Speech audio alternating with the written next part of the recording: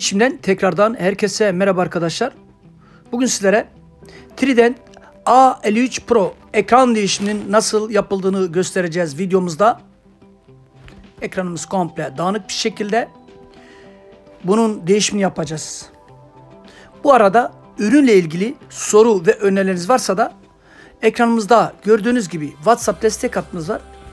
Web sitemizde canlı destek hattımız var veya ürünün altına sorularınızı bize iletebilirsiniz. Trident A53 Pro ekran değişiminin nasıl yapıldığını videomuzda görüyorsunuz. Türkiye'nin bütün bölgelerine hizmet sağlamaktayız. Ücretsiz kargo hizmetimiz mevcut bu arada arkadaşlar.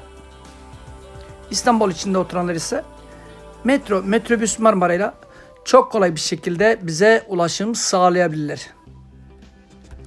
Trinidad marka cihazlarla ilgili diğer yaptığımız işlemler ekran değişimi, cam değişimi, arka kapak değişimi, batarya değişimi, kamera değişimi ve benzeri bütün işlemleri sağlamaktayız. Sesli şekilde videomuza devam edeceğiz. Lütfen videomuzu beğenmeyi ve YouTube kanalımıza da abone olmayı unutmayın. Sizlere iyi seyirler diliyoruz.